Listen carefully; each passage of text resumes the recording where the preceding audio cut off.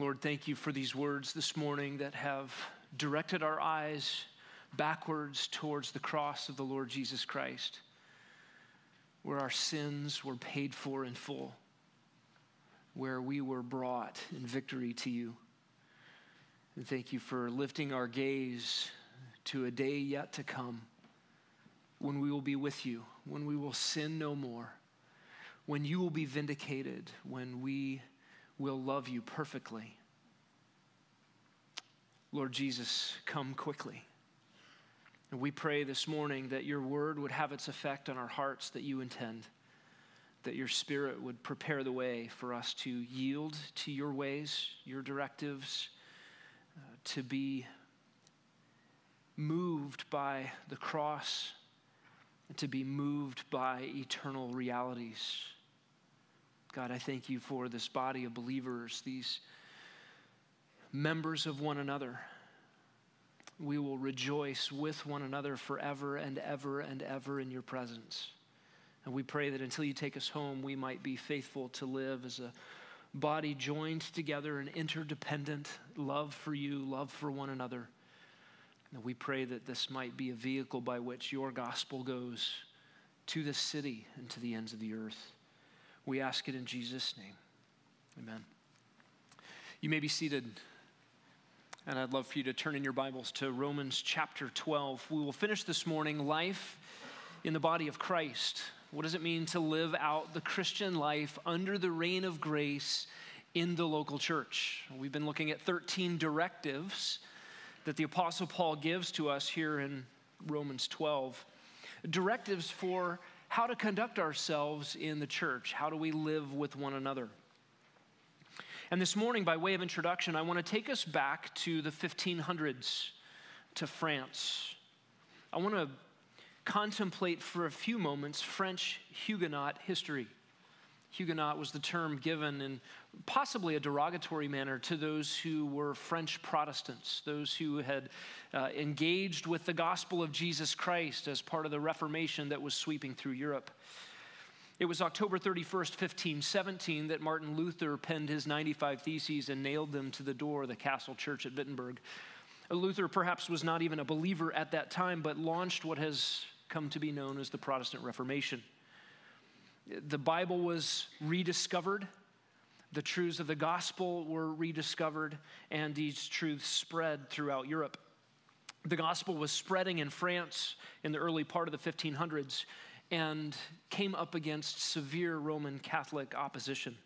Pastors were killed, men were burned at the stake, women and children were drowned in the rivers. In 1533, John Calvin, who was a pastor in Paris, fled to Geneva. And in 1541, John Calvin published his Institutes of the Christian Religion. You may be familiar with the giant theology textbook. Uh, it was published in French in 1541. And in its first iteration, it was not designed primarily to be a theology textbook, but was a warm hearted, passionate appeal to the King of France, King Francis I. And it laid out for King Francis I biblical New Testament Christian doctrine. And it appealed to him on the basis of the New Testament please stop persecuting Christians in your nation. You claim to be a Christian king. You say you love the Bible. Let me just lay out for you what the Bible says so that you'll stop drowning women and children and burning pastors. That was the point of the Institutes in the first French edition in 1541. 88 pastors were smuggled into France in the 1550s. These were pastors trained in Geneva under Calvin and sent back into their homeland. 88 pastors were trained in the 1550s, 88 pastors were martyred in the 1550s. In the 1560s, Huguenots escaped. They began fleeing France and they went all over the world. Uh, in the 1560s, French Huguenots came to Florida and South Carolina. There is a French Huguenot society headquartered in South Carolina to this day.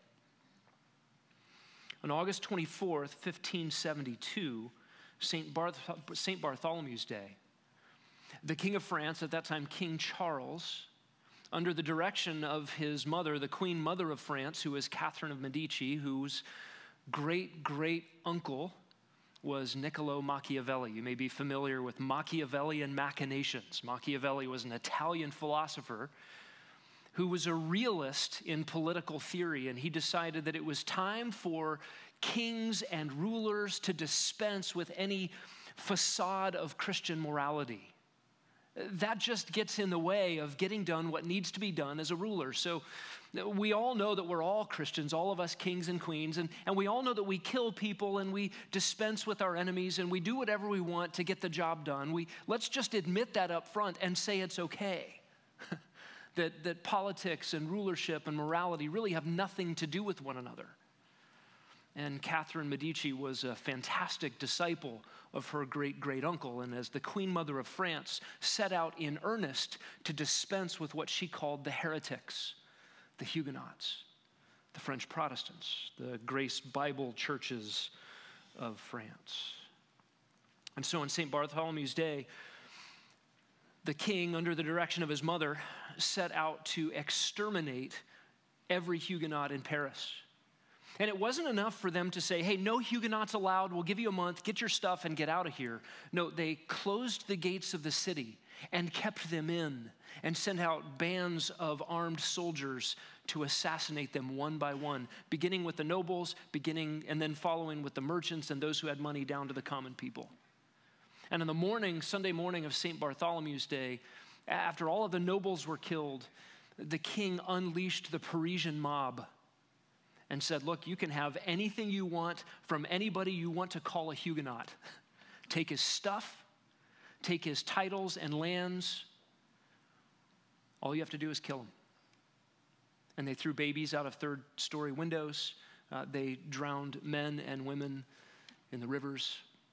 They piled up corpses all over the city. Really, a tragic scene in French history that has had repercussions throughout European history down to this very day. In April 13th, 1598, 26 years later, a new king, a Protestant king, issued the edict, edict of Nantes, which was a cessation of hostilities against the French Protestants. That edict of uh, peace towards the Protestants was revoked in 1685, almost 100 years later, by King Louis XIV, who reinstated the kinds of massacres that took place in St. Bartholomew's Day.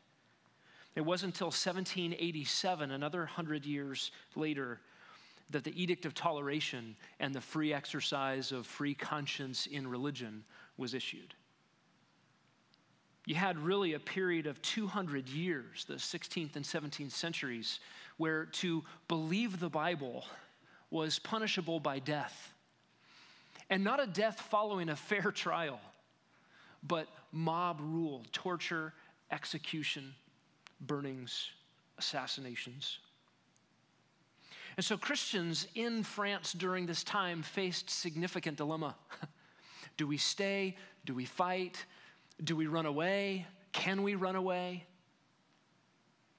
And you had floods of French Huguenots leaving France. By the way, today, France is less than 3% Protestant and far less than that in terms of evangelical Protestant. Uh, more than 50% Catholic and nearly 40% atheistic. France had a remarkable opportunity of the gospel sweeping through the nation in every city represented by faithful Bible teaching and the gospel proclaimed, and then almost entirely eradicated by persecution. As the French Protestants left France in various waves of persecution, they went to the, they went to the uh, continent of Africa. They went all the way to South Africa. They came to the New World here and established colonies and places to live. They were received in Holland. They were received in Germany. They went to Switzerland. They went to England. And everywhere the Huguenots went, they were in need because they left with nothing, traipsing through the forests of Europe with no, no, clothes, no belongings, all of their things stripped away. And they were completely and totally dependent on the kindness and the hospitality of other Christians wherever they went. And remarkable things happened throughout Europe and in the New World and on other continents. Christians opened their doors, opened their homes, opened their checkbooks to total strangers and helped them to establish new life in new places in the midst of tragedy. The directives we look at this morning in Romans 12 13, contributing to the needs of the saints, practicing hospitality, are two commands that were absolutely needed in those centuries in France. Two commands that are hard for us to grasp in the depth in which Paul intended them in the first century. Although Christians, even today in our world, throughout the world, in various places, are in need of these very things. Brothers and sisters in Hong Kong, brothers and sisters in China, brothers and sisters in North Africa, uh, all over the world, Christians are in need in a dire way for other Christians to be ready to meet physical needs and to practice hospitality.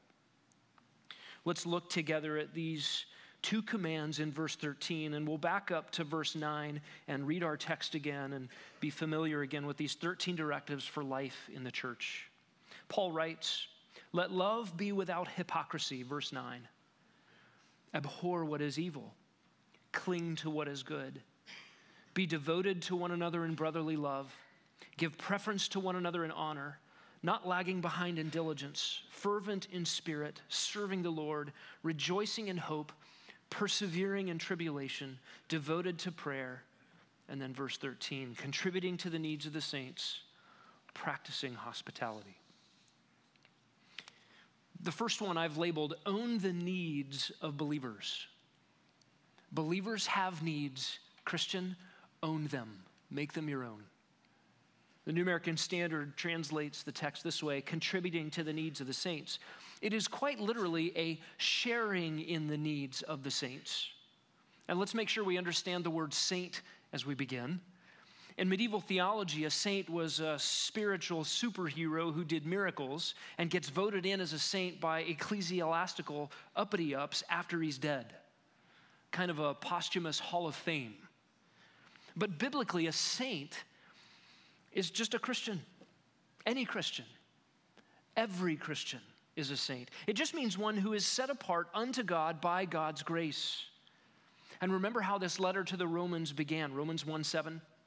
To all who are beloved of God in Rome, called saints, grace to you and peace from God our Father and the Lord Jesus Christ. Paul is not writing to dead spiritual superheroes, but to normal, everyday Christians. And when he says contribute to the needs of the saints, we need to understand that he's talking about needs here. Contributing to the needs of Christians is not the same thing as enabling the indolence of Christians.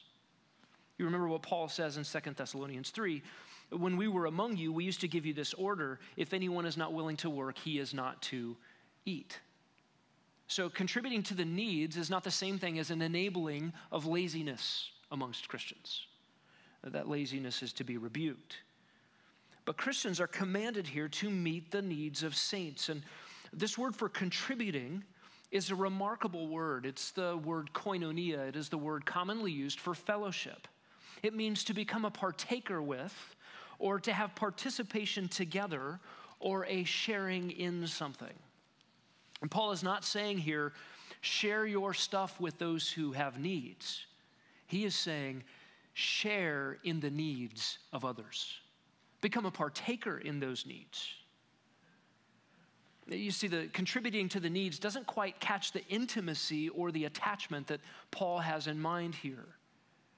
Uh, this word is used for a closeness of fellowship and attachment throughout the New Testament. In Acts 2:42, the early followers of Jesus were said to devote themselves to fellowship. Same word. Jew and Gentile had fellowship in spiritual things, Romans 15, 27. By the way, the idea that Jew and Gentile were now fellows, that they enjoyed fellowship and intimate connection in spiritual realities was a bit of a shock in the first century. It went across the Jew Gentile divide. In fact, nearly every chapter of the New Testament is fraught with the racial tension that came with Gentiles having free access and equal footing with Jews in the local church. and they are said to have fellowship together. Christians have been called into fellowship with Christ, 1 Corinthians 1 9. You were called into fellowship with God's Son, the Lord Jesus Christ. Christians also have a share or a fellowship, same word, in the sufferings of Christ. 1 Peter 4:13 to the degree that you share the sufferings of Christ keep on rejoicing. In Philippians 3:10 Paul says that I may know him and the power of his resurrection and the fellowship of his sufferings. To be a Christian is to be a partaker in, a sharing in, a fellowship in a life of suffering even as our savior. In 2 John 11, Christians are particularly commanded not to have a share or a fellowship with false teachers. To have a partnership or a fellowship with false teachers is to participate in his evil deeds, John says in 2 John 11. And in Macedonia, Christians, out of their own poverty, begged Paul to be able to participate in the financial support of other Christians. 2 Corinthians 8 4 says, They begged us with much urging for the favor of participation in the support of the saints. Same word, fellowship, a sharing in.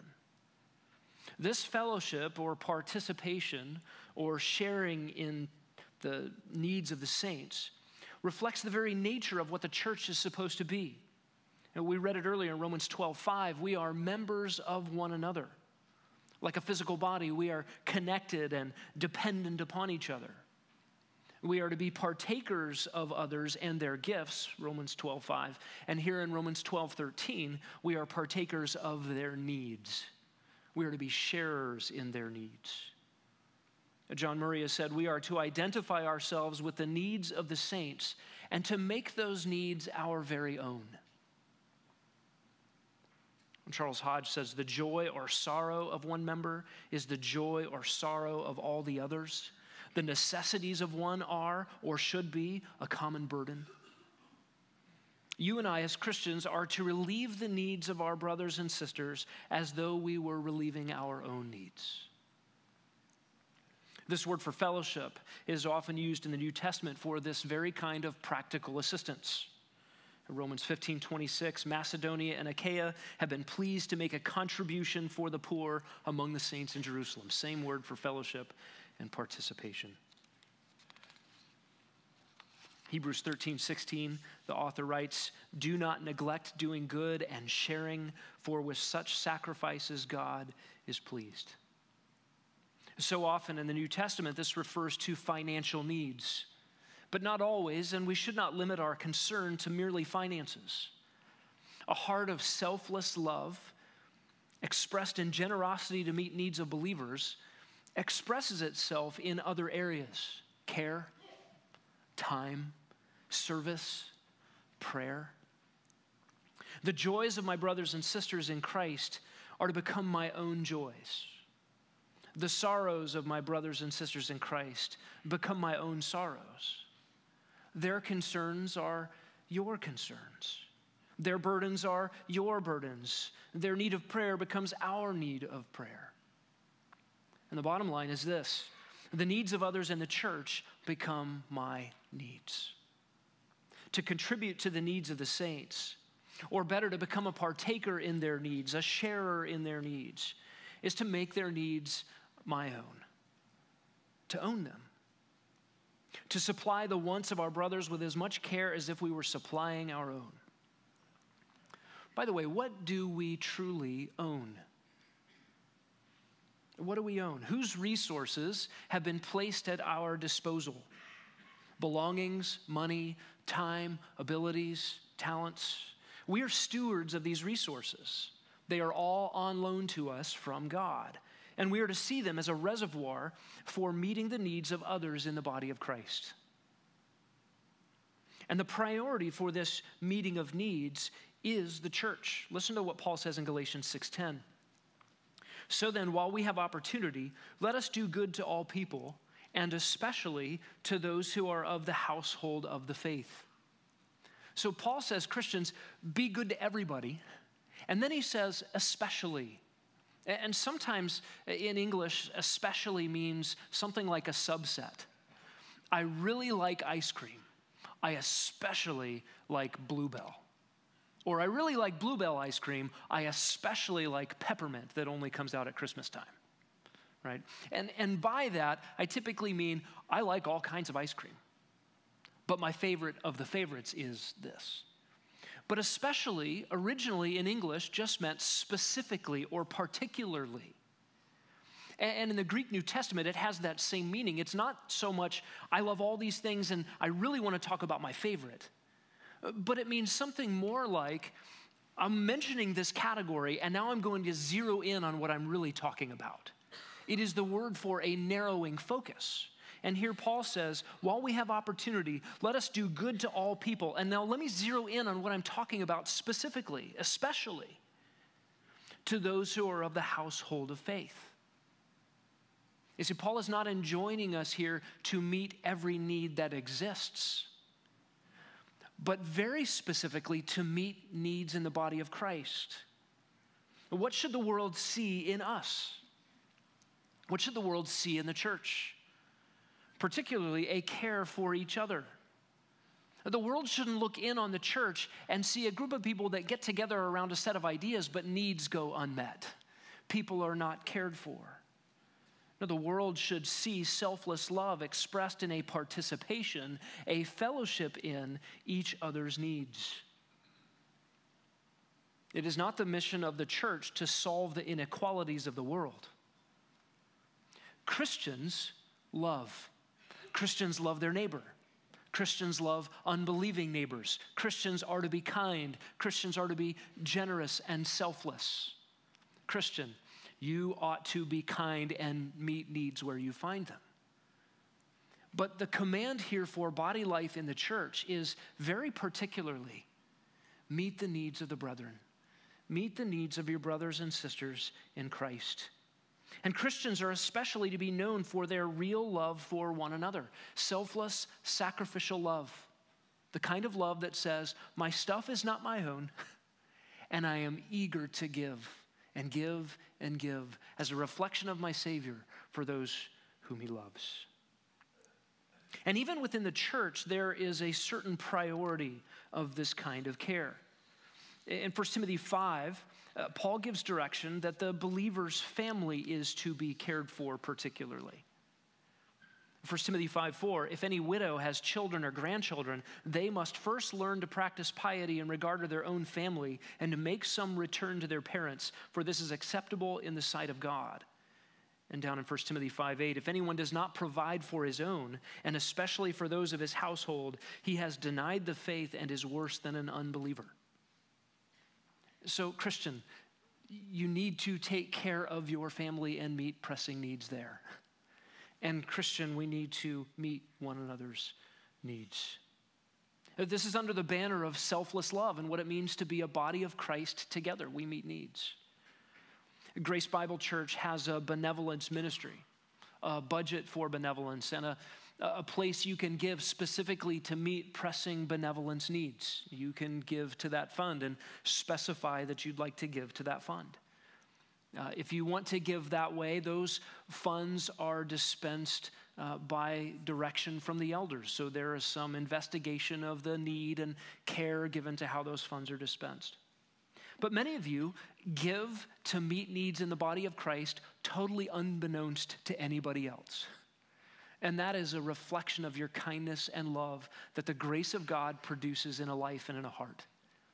And many of you in this room have benefited from others just anonymously, not knowing what their left hand and their right hand are doing, giving to meet needs. And many of you have done the same thing and met other people's needs in a time of need. It's so commendable, and it marks a love that God produces and a mentality towards each other that we truly participate in each other's needs, in each other's lives. There is a danger in a command like this that someone whose heart is full of envy at what someone else might have gets a hold of this verse and says, See, you need to share with me. I don't have all the things that you have. Inequality is sinful. Have you heard these arguments? Uh, if, if your heart, if you're listening right now and your heart is not thinking first, I am one of the wealthiest people who has ever walked the face of the earth. And I must seek needs to meet, and I must give and give and give. If that's not your heartbeat, you're missing the point of this passage. If your application of this passage is, hey, there's people in this church that have more than me, I want some of that, you're not operating under the banner of love. And a little perspective is helpful. The, the poorest of the poor in 21st century America live with more conveniences and more ease than just about anybody else in human history, and more than most of the people in the world today. We ought not think of uh, needs in terms of relationships to others and possessions. We ought rather to have a Christ like eagerness to empty self and give and give and give. And listen, if you are in a time of financial need, we want to know about that. The elders want to care and reach out and meet needs. So, just as a practical application of this verse, all of us ready to give, all of us ready to meet needs, all of us ready to have an open hand with the resources God has made us stewards of. And sometimes it requires a significant humility to say, I have a need. However, you got there, I have a need. And believers love to care for each other. This certainly was a need in the 15th and 16th centuries in France and all over Europe where French Huguenots fled, where Christians opened up their homes to other Christians, Christians who had planted in another area made the doors wide open for many more to come. And in each of the cities where Huguenots fled, the roles of those cities, of people entering those cities, show how many came through the gates and really overwhelmed the resources. And Christians gave and gave and gave. Really remarkable period of church history. Our last directive, number 13, in the second half of Romans 12 13, is pursue hospitality pursue hospitality. The New American Standard just says practicing hospitality. And the word practice here is a word meaning to chase after, to pursue. Most often in the New Testament, it's actually the word translated to persecute, to chase after somebody to harm them. It is the word used of the enemies of Christ chasing down Christians. Jesus predicted in Matthew 10 23, whenever they persecute you in one city, flee to the next. In Philippians 3 6, Paul says, I persecuted the church. Same word. But in the same chapter, Paul goes on to say, I press on toward the goal. So Paul chased down the church to harm the church, and then he chases the goal of godliness and the upward call of Christ. And what we have here in Romans 12 is not the negative connotation of chasing someone down to harm them, but really rather just the opposite. It still carries the idea of pursuit. And in Romans 12, 13, the word is used to describe how Christians ought to feel about hospitality. We are to pursue opportunities to be hospitable. Now, what is hospitality? You may think of entertaining guests, nice table settings at dinner parties. Maybe you think of warm chocolate chip cookies in a hotel lobby or the napkin origami at a fancy restaurant. You know, when they take your table setting and the napkin and they somebody folds it into a swan or something. Maybe the friendly orange and purple clad info people at Sky Harbor Airport with the great big signs that say, Ask me. Have you seen them? Anybody asked them a question? I want to go up and ask, What's the capital of Connecticut? And just see what happens. We have in our nation today the hospitality industry hotels, restaurants, tourism, uh, conference planners. We have hospitality suites, hospitality staff, hospitality marketing management. You can get a hospitality major in college. But what is hospitality biblically? Hospitality translates a compound word in the original, essentially, love towards strangers. Love towards strangers. That is, it means to have a welcome hand, an open hand, and help towards people you've never met, and, and particularly here, Christians you've never met. And they become strangers no more. That is stranger love, that is hospitality. It is the process by means of which an outsider's status is changed from stranger to guest, says Colin Kruse. In the first century context, this was really important. For most of human history, travel has been difficult. I don't know if you know, but the Travelocity website is a rather new invention in the history of getting from one place to the other. Planning ahead and picking a place to stay, and even seeing pictures and making a reservation. These are all new features. If you read about medieval European history, you discover that nobody ever really traveled more than about seven miles from his home in a lifetime because it was so difficult and so dangerous. The woodlands of Europe were dark and filled with beastly animals and robbers, and roads were hard to come by, and vehicles were slow. It cost a lot of money to go anywhere, and so people just didn't. And if you had to travel, if you were some sort of emissary or ambassador, you would take a small army with you just to protect you on the way. It really was difficult, and, and travel by sea was not safe either. In our day, we have the Motel 6. You know why it's called Motel 6? Because when it first came out, it cost $6 to stay the night, and Super 8 was an $8 a night motel.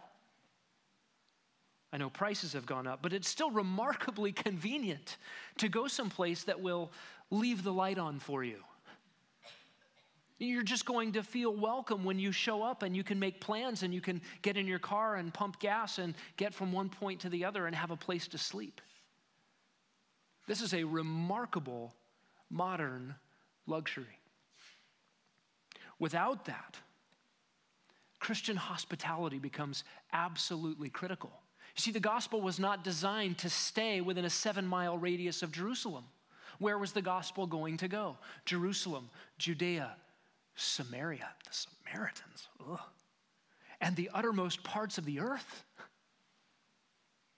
How is it going to get there? By people going, walking, sailing, riding a horse. Hard stuff, dangerous. Paul talks in 2 Corinthians 11 of being in danger constantly in his travels. It was just not a guarantee that you would show up where you intended to go. Travel was not safe. Christians were persecuted. There were few hotels, and there were even fewer safe ones.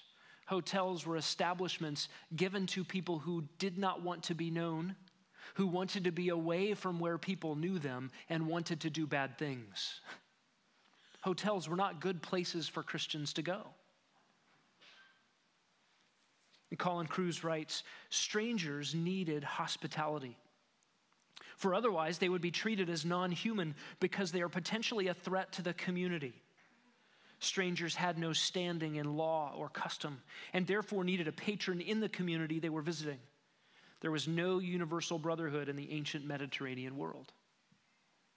And listen, I know there are pockets of the kind of distancing of strangers even in our world today. There are places you can go in America where you will be treated as an outsider and you will not be welcome.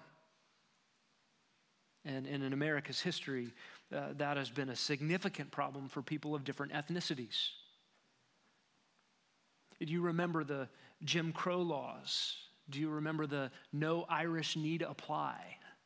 Throughout American history, strangers have been unwelcome in the neighborhoods.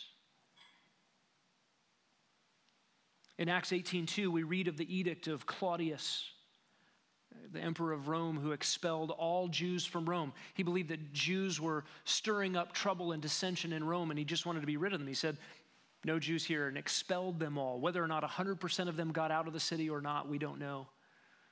But this had a profound effect on Jewish presence in Rome, many of whom were now Christians. And after the recension of that edict, Jews were allowed back into their home city. But those Jews who had been banished from Rome often came back with nothing. And Paul here is writing a letter to the Romans, encouraging them to be hospitable, to be those who love strangers, who welcome strangers in as guests, because those Christians coming back to Rome would be in need.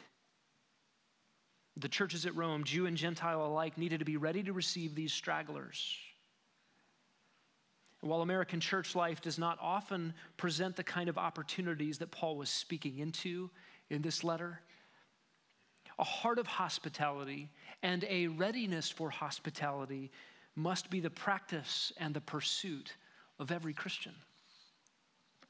There will probably be a day when Christians move to town and are in need of logistical help, finding an apartment, finding a house, unloading their belongings, finding a job, finding a car. And I know our Facebook page, GBC Friends, has been a remarkable resource for people expressing those kinds of needs and those needs being met. Some of you have even served officially on committees in churches, the Move In Committee, getting people together to help people unload when they move into town. And of course, there will be times when missionaries come through town and need a place to stay and they need not just a light on and a hot meal, but they need encouragement, spiritual feeding, prayer, a place to just come and let their hair down and let their kids run around and break stuff and eat stuff. Missionaries need that. 3 John 5 to 8 describes that very kind of thing. Beloved, says the Apostle John. You are acting faithfully in whatever you accomplish for the brethren, especially when they are strangers. They have testified to your love before the church, and you will do well to send them on their way in a manner worthy of God, for they went out for the sake of the name, accepting nothing from the Gentiles. Therefore, we ought to support such men so that we may be fellow workers with the truth. By sharing your things, your time, your home, you are participating in the advance of the gospel when missionaries come through town. There may come a day when persecuted Christians need refuge. There may come a day when Christians coming through have no possessions, no resources, no means to pay you. They will simply be in need, exiled, traveling, dependent. It was ubiquitous. It was everywhere in the first century church. It has been true in various places at various times throughout church history. It may be true here one day. This command for hospitality is a requirement for spiritual leadership, is listed in the qualifications for elders, for pastors, in 1 Timothy 3 and in Titus 1. And it is also a directive for all Christians to follow. And to pursue hospitality, to chase after it, is to take initiative. To practice true hospitality is to do so without regret, to do so not begrudgingly, not to grumble about it, not to tell other people what a burden these people were, but to do so with joy. 1 Peter 4 9 says, Be hospitable to one another without complaint. A heart of hospitality is fundamentally a radical commitment to others. It is getting outside of yourself and thinking about others' needs. What does it mean for us on a Sunday morning to be hospitable as a church? It means to make strangers feel at home, to open hearts and hands and make them feel welcome, make people who are here for the first time no longer feel like strangers. Do you remember the first time you came to Grace Bible Church? Did you know anybody? Did, did you look up the church on the internet? Did you see a sign and walk in? Maybe you had a couple of friends. Do you remember what you felt, what you thought? Can you go back there? And then turn the tables and look around you on a Sunday morning. And open your heart, open your time, open your conversations to people you haven't met yet. They are strangers so far, but we pray that they will not be strangers long.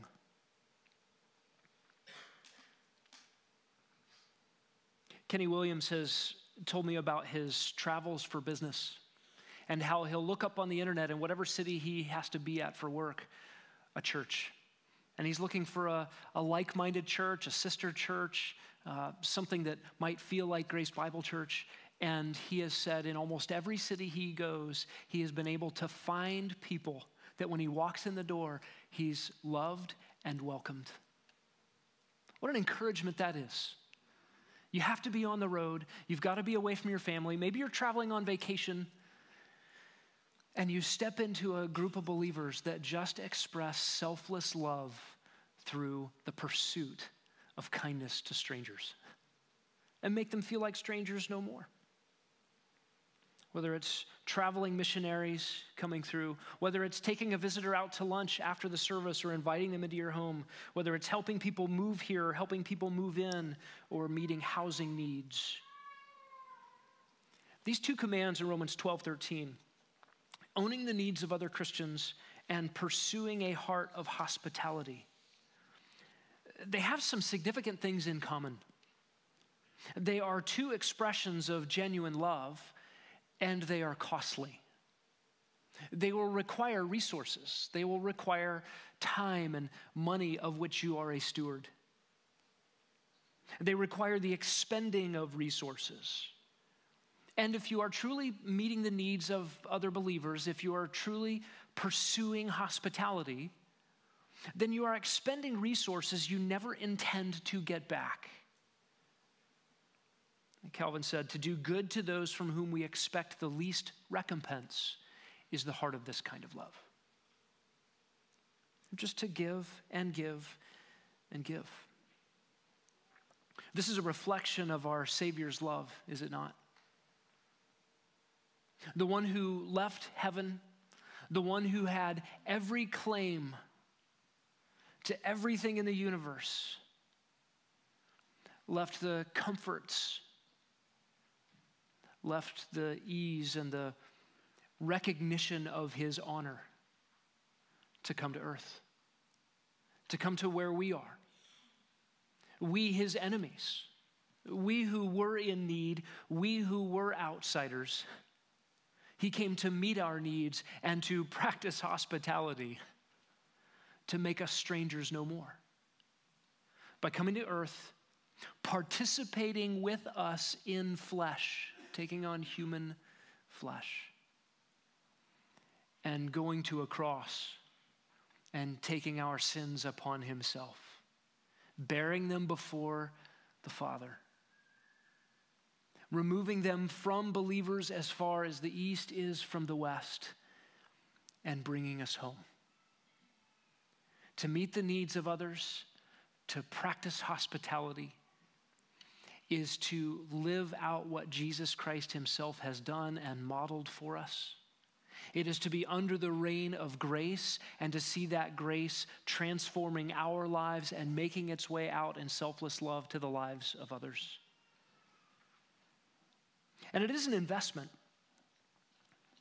Uh, you can read sometime the top 20 bad investments where people poured all of their resources into stocks, into startups that went south. That money, gone. Time, resources, expenditures in meeting needs and hospitality is money and time and resources you will not get back in this life. But it is the greatest investment you can make. It redounds into eternity. It reflects your Savior's love. And it models to a watching world what Jesus' love for his body and what the body's care for itself ought to look like. Let's pray. Lord, thank you for these directives. Thank you for giving us instruction on what the Christian life should look like. Thank you for the power by your grace to live these things out. And, and we don't do it perfectly. We fall short in so many ways in these needs. These are lofty attainments, lofty goals, and yet we want to aim at them and be dependent upon your spirit and your grace and your power to pursue these things for your glory and for the good of your people, for the progress of the gospel. We pray for help in all of it in Jesus' name. Amen.